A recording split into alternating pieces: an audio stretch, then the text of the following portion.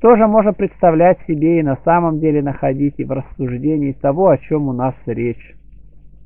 Лисица притворяется спящую, а демон целомудренным. И первое, чтобы обмануть птицу, а последнее, чтобы погубить душу. Не доверяй брению во все время жизни своей и не полагайся на него, пока не предстанешь Христу. Не надейся, что при воздержании не падешь. Некто, ничего не вкушавший, свержен с неба. Некоторые из ведущих прекрасно определили отречение от мира, говоря, что оно вражда против тела и борьба с чревом. У новопоступивших плоские грехопадения обыкновенно бывают большей частью от роскоши. У находящихся на середине пути, кроме того, что доводит до падения, новопоступивших и от высокоумия, а в приближающихся к совершенству единственно от осуждения ближнего. Иные ублажают по естеству родившихся с копцами за то, что избавлены они от мучительства плоти но я ублажаю ежедневно делающихся скопцами, которые, как ножом, искажают сами себя помыслом. Видел я невольно падавших и видел таких, которые добровольно желают пасть, но не могут. И более чем ежедневно падающих признал я несчастными этих последних, потому что и не имея возможности, алчут зловоние. Жалок, кто падает, но еще более жалок, кто другому доставляет случай к падению. Потому что последний влачит бремя двух грехопадений, еще бремя удовольствия, вкушенного другим. 25. Не думай блудного демона не изложить рассуждениями и возражениями. У него есть благовидные предлоги, потому что борется с нами тем, что в естестве. Кто вознамерился плоть свою побороть или победить сам собою, тот напрасно подвязается. Ибо если не разорит Господь дома плоти и не созиждет дома души, то напрасно бодрствует и постится разоряющий. Повергни пред Господом немощь естества своего, вполне сознав собственное свое бессилие, и неощутительно примешь дарование целомудрия сладострастных, как некто испытавший на себе страсть ее рассказывал мне по своем отрезвении от оной. Есть чувство какой-то любви к телам и какой-то бесстыдный и бесчеловечный дух, который явственно пребывает в самом чувстве сердца, делает, что боримое от телесного томления в сердце горит, как бы в разжженной печи, и производит, что страждущий не боится Бога, памятование мучения пренебрегает, как ничего не значащее, отвращается от молитвы и во время самого действия, почти уже совершенного, на мертвые тела взирает, как на бездушные камни, бывает как бы не в уме и выступлении, непрестанно упоевается вожделением и к словесному и бессловесному. И если бы не прекратились дни этого духа, то не спаслась бы ни одна душа, облеченная в это брение, с растворенной с кровью и скверной влагой. И возможно ли было бы спастись? Поскольку все сотворенное ненасытно вожделевает сродного себе кровь крови, червь червя, брение брение, то как могла бы плоть не вожделевать плоти? Хотя мы, обуздывающие в себе естество и вожделевающие царствие, и пытаемся разными ухищрениями обмануть сию обманщицу. Блажены те, которые не испытали описанной выше брани. Будем молиться, чтобы навсегда избавиться нам от подобного испытания Твой, потому что, поскользнувшиеся в описанную выше пропасть, падают вдали от той лестницы, то есть виденной Яковом, восходящих и нисходящих.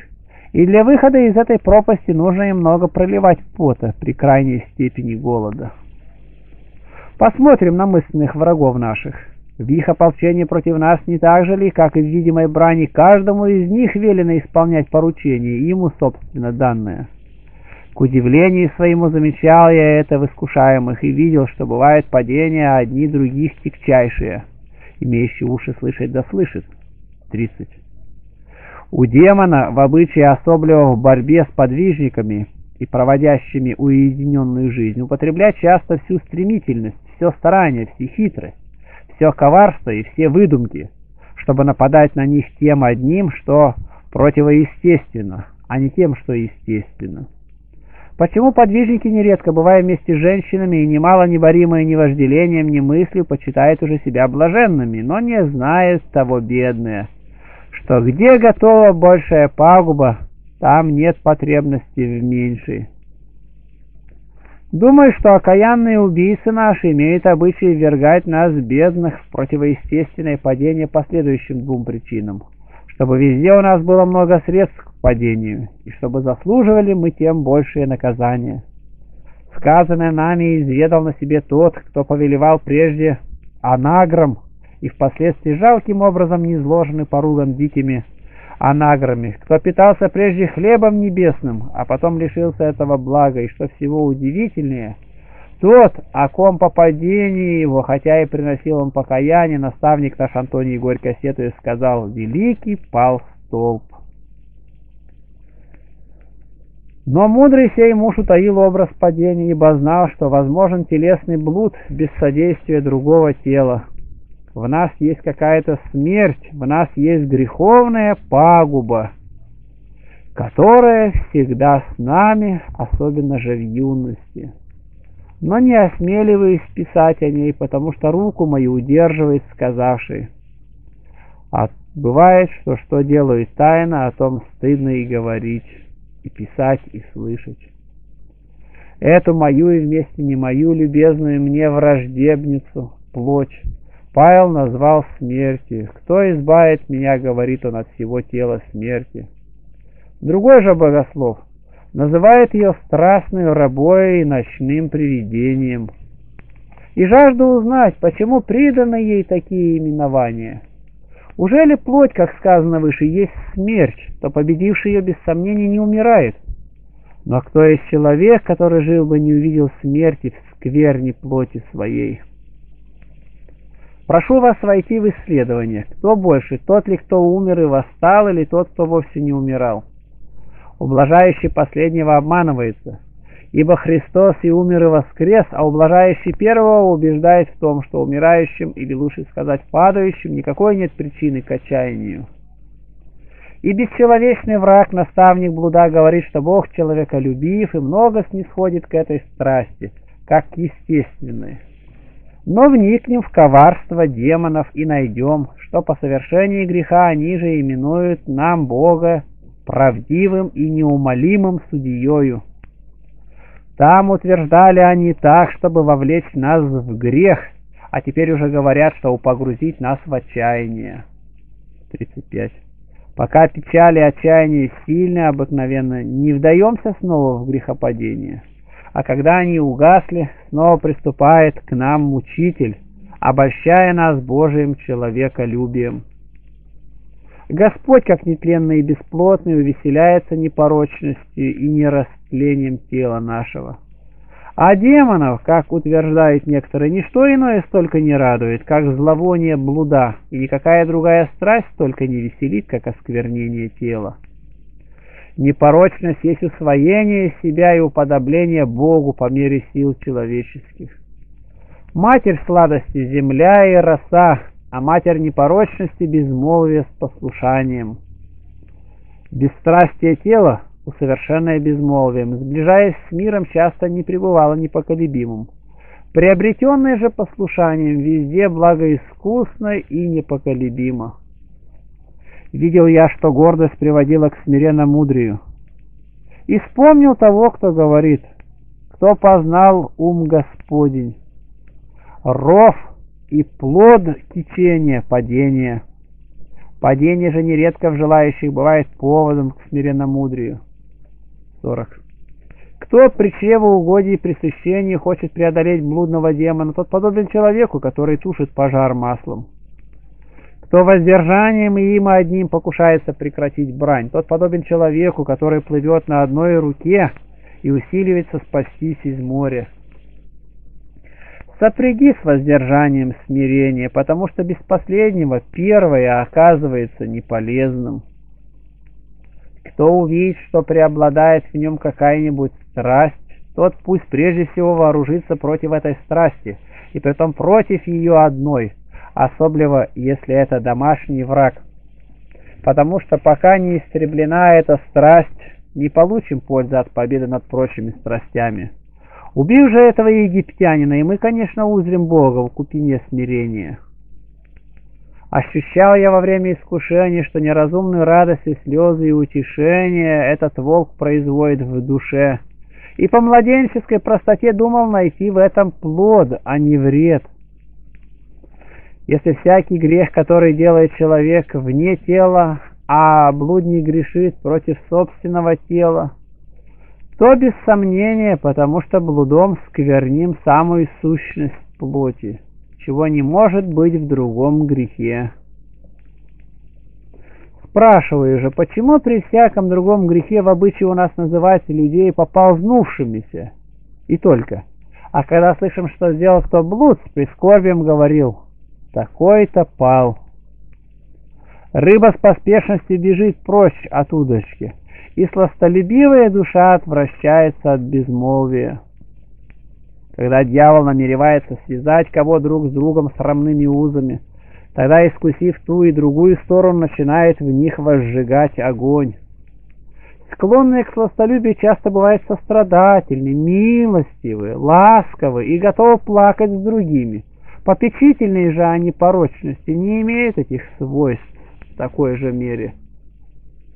Один следующий муж предложил мне страшный вопрос, сказав, какой самый тяжкий грех, кроме человека убийства и отречения от Бога? И когда сказал я впасть в ересь, он спросил, почему же соборная церковь принимает еретиков, и искренне проклинают они ересь свою и удостаивает их причащения тайн?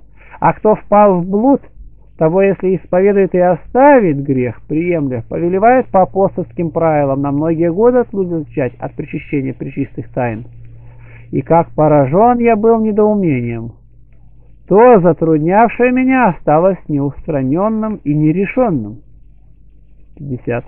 В рассуждении услаждения, ощущаемого нами при псалмопении, будем разыскивать, взвешивать и наблюдать, какое бывает у нас от блудного демона, какое от словес духа, и от заключающейся в них благодати и силы.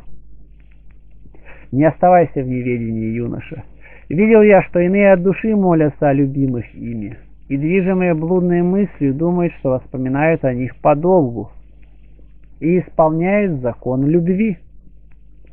Через одно прикосновение можно оскверниться телесно, потому что всего опаснее для нас чувство осязания. Помни того, кто обвил руку свою полою в платье, и ты руку свою доводи до оцепенения, когда касаешься тайных и прочих членов собственного своего и чуждого тела чужого. Думаю, что невозможно никого назвать вполне святым в подлинном смысле, пока землю, тело свое эту, не претворит он в святыню, если только возможно такое преображение. Повершись на постель, особенно будем трезвиться, потому что ум наш без тела борется тогда с демонами, если он сластолюбив, то охотно делается предателем. 55 тобою пусть засыпают и с тобою восстают непременно памятование смерти и наедине произносимая Иисусова молитва. Потому что кроме этого не найдешь себе иной равной помощи во время сна. Иные думают, что брани и извержения во сне бывают только от пищи. Но случалось видеть, что тяжко больные и самые строгие постники часто подвергаются сим осквернениям, Спрашивал я однажды об этом одного из самых благоискусных и рассудительных монахов, и блаженный весьма ясно растолковал мне. «Извержение во сне, — говорил этот преснопамятный муж, — бывает от множества пищи, от спокойной жизни. Бывает также от гордости, когда кичимся тем, что долгое время не подвержены были истечениям. А еще бывает и от осуждения ближнего — Последние два случая, присовокупил он, могут иметь место и с больными. Но я думаю, что могут и все три. Если же кто по строгам самоиспытания не найдет в себе ни одной из сказанных выше причин, то блажен делатель такового бесстрастия. С ним, если и случится это, то единственно по зависти демонов, когда Бог на время попустит это, что по безгрешным всем злоключении приобрести ему высочайшее смирение. Никто да не имеет привычки днем размышлять сам с собой о бывшем во сне мечтаниях, ибо в этом у демонов та цель, чтобы сновидениями осквернить нас и в бодрственном состоянии. Послушаем еще о новом злоухищрении врагов наших.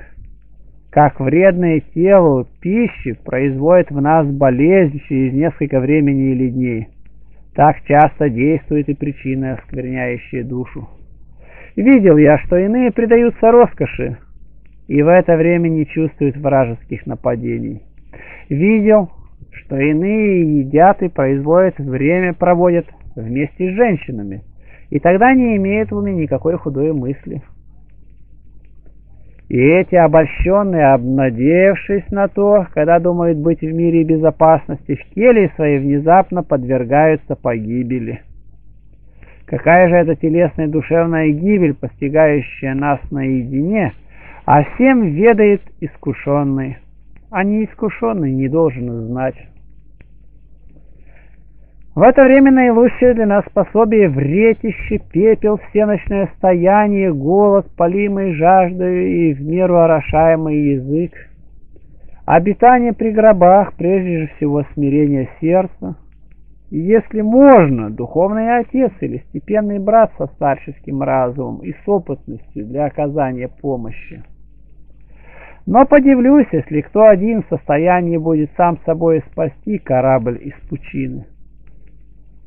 Одно и то же грехопадение, извлекая часто на одного осуждения, навлекает во сто крат больше, нежели на другого, зависимо от нрава, места, приспияния и многого другого. Некто поведал мне необычайной и о самой высшей степени непорочности. Он сказал, один, смотри, нон-епископ Илиопольский, чуть именее 8 октября, возрев на женскую красоту, прославил при этом Творца и от единого взора погрузился в любовь Божию и в источник слез. И чудно было видеть, что для другого послужило бы рвом погибели, то для него сверхъестественно стало венцом. Таково, если всегда в подобных случаях имеет такое же чувство и делание, еще прежде общего воскресения восстал уже нетленным. Тем же правилом будем руководствоваться в рассуждении пения и песней. Боголюбивыми и мирскими и духовными песнями обыкновенно возбуждается к тихому веселью, к божественной любви и к слезам, а сластолюбивые к противному. Иные, как говорили мы и прежде, в местах безмолвных терпят гораздо сильнейшее нападение от врагов.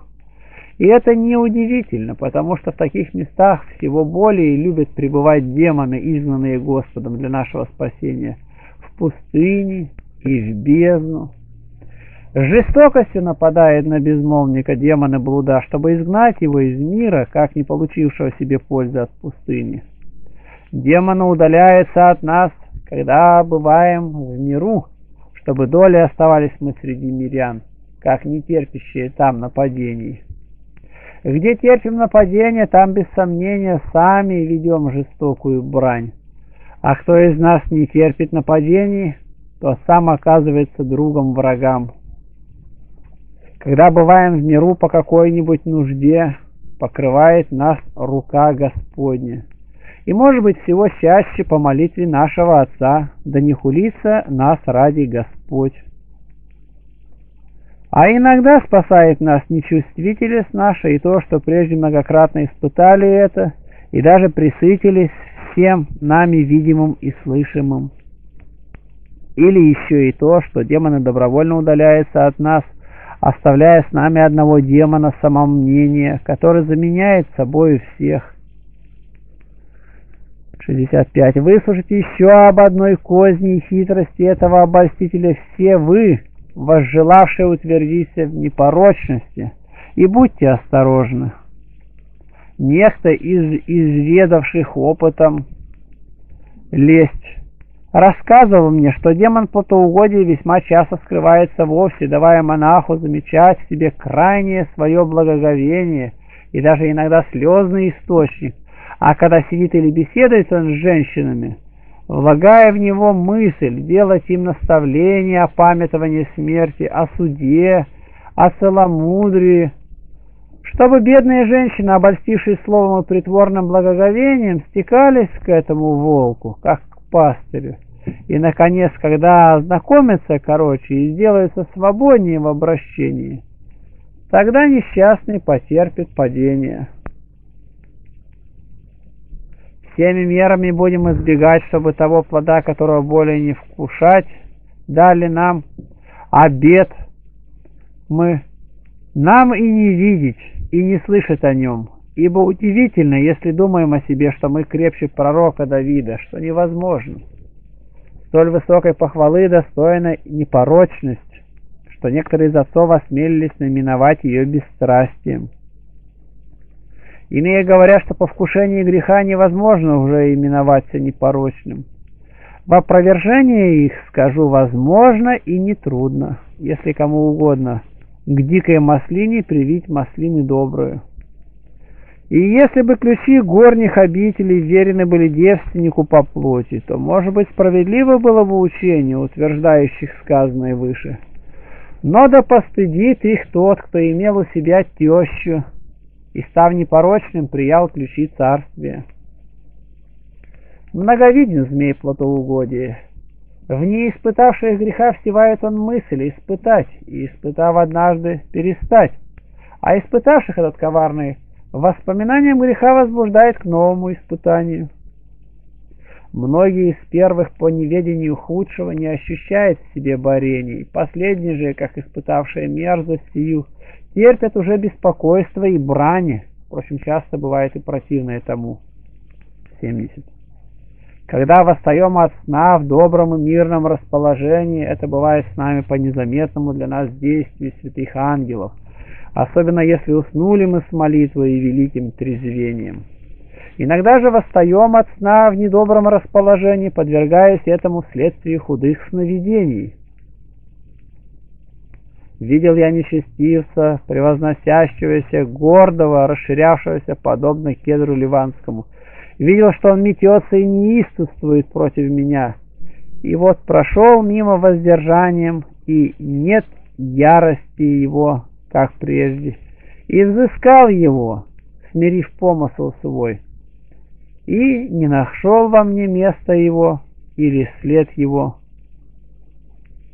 Кто припобедил тело свое, тот припобедил естество. А припобедивший естество, без сомнения, стал выше естества. Кто же таковым сделался, тот малым чем, чтобы не сказать ничем, умален от ангелов. Неудивительно невещественному бороться с невещественным, но удивительно и подлинно удивительно пребывающему в веществе в борьбе с этим враждебным и злокозненным веществом обращать в бегство невещественных врагов. Благий Господь великую о нас благопопечительность являет и в том, что бесстыдство женского пола как бы уздою какой связал стыдом. Ибо если бы женщина сама предавалась мужчине, то не спаслась бы никакая плоть. Рассудительные из отцов определяют, что иное есть прирожение, а иное сдружение, иное соизволение, иное пленение, иное борьба, а иное так называемая страсть в душе.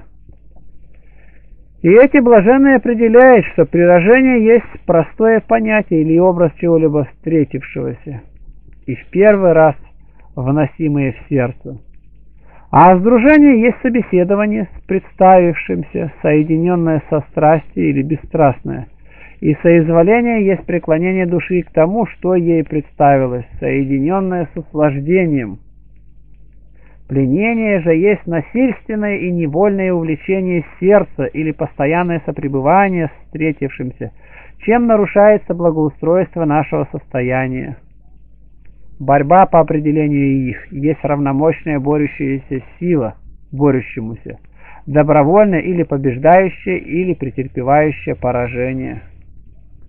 Страсти же в собственном смысле называют они то, что долгое время тревожно гнездится в душе, и по привычке к этому обращается ей как бы в постоянный навык. Почему душа охотно и дружески предается тому? Из всех сих состояний первое безгрешно, второе не всегда, а третье грешно. Или безгрешно, сообразно состоянием подвязающегося. Борьба бывает виной или венцом, венцов или мучений. Пленение подвергается иному осуждению во время молитвы, и иному в другое время также иному в вещах безразличных и иному при лукавых помышлениях. Но страсть, если не будет в ком очищена, несомненно осуждается во всяком случае и подлежит или равносильному наказанию, покаянию, или будущему мучению. Поэтому, кто бесстрастно смотрит на первое, то есть прирожение, тот за один раз пресек все за ним следующее. У тех из любвеобильных, любоведующих отцов, которые входили в большее всем подробности, есть более тонкое предыдущих понятий о том, что, по словам их, называется пореванием ума, которое без продолжительного времени, без всякого слова и образа, страстном быстро обнаруживает его страсть. Ничто не совершается ни в телесных движениях так скоро, ни в духовных действиях так быстро и незаметно, как это свойство открывает в душе свое присутствие при одном простом напоминании, с которым душа не успевает сдружиться без малейшего продолжения времени совершенно неизъяснимо, а в иных даже и недоведомо им самим. Поэтому, если кто при помощи плача возмог постигнуть таковую тонкость этого свойства, то может он и нам объяснить, как одним оком, простым взглядом, прикосновением руки, слышанием пения – без всякого представления и помысла душе можно впадать в страстный блуд. Иные говорят, что от сердечных помыслов в тело приходит страсть, а иные опять утверждают напротив, что от телесных чувств рождаются лукавые помыслы. И первый рассуждает, если бы не предшествовал ум, то не последовало бы и тело, Последний же в оправдание свое представляет зловредность плотской страсти, говоря, что часто худые помыслы находят доступ к сердцу вследствие приятного видения или прикосновения руки, или обоняния благовония, или слышания сладкогласия. Кто может, тот пусть объяснит это о Господе. Ибо подобное познание весьма необходимо и полезно проходящим деятельную жизнь с ведением. А делателям добродетели, подвязающимся в простоте сердца, нет никакой в этом важности, потому что не всем ведение и не всем блаженная простота служат бронёю от хитрости лукавых. Иные страсти переходят в тело изнутри, а иные также наоборот. Последние бывают живущими в мире, а первые с проходящими монашескую жизнь по недостатку внешних возбуждений. А я скажу об этом только следующее. Взыщи разума у злых, и не найдешь. Притча 14.6. Когда много боровшись с этим демоном, сожителем брения, изгоним его из сердца своего, измучив камнями поста и мечами смирения в теле нашем. Тогда этот окаянный, как червь какой скрываясь в теле нашем, усиливается сквернить нас, раздражаясь каким-нибудь неразумным и неблаговременным движением. 80. Всего же более подвергается этому покорившееся демону тщеславие, которое нечасто уже примечая в сердце блудные помыслы, делается от того близкими к тщеславию. И чтобы убедиться в нелживости сказанного, пусть, когда приобретут себе некоторое безмолвие, внимательно разберут сами себя. Тогда непременно найдут, что какой-то помысл, как змей в гною, кроется в глубине их сердца, и внушает им, что собственным старанием и усердием преуспели они несколько в сердечной непорочности. Но не представляет эти бедные сказанного, что имеешь, чего бы не получил, даром или от Бога, или по содействию и молитве других – Поэтому пусть будут внимательны и со всем старанием, да извергнут упомянутого выше змея из сердца своего, умертвив его глубоким смиренномудрием, чтобы и им, когда избавиться от этого змея, можно было со временем совлечься кожаных риз, и с невинными младенцами воспеть Господу победную песнь непорочности, если только совлекшись не окажутся обнаженными от естественного детям незлобия и смирения. Сам этот демон гораздо более других высматривает время, когда телесно не может укрепиться против него молитвою. И тогда этот нечистый преимущественно нападает на нас. Тем, которые не приобрели еще истины сердечной молитве, помогает утомление в телесной молитве, разумеется, воздеяние рук, биение в персе, искреннее возведение очей к небу, глубокие воздыхания, частое преклонение колен. И поскольку часто не могут они этого делать ради присутствующих, то демоны в это время и покушаются нападать на них. Они же, не в силах еще будучи противопоставить им твердость ума и невидимую силу молитвы, по необходимости, может быть, уступают нападающим на них. Отступи, если можно, немедленно, сокройся ненадолго, неприметным образом, возведи горе, если можешь, душевно, а если нет, то наружное око.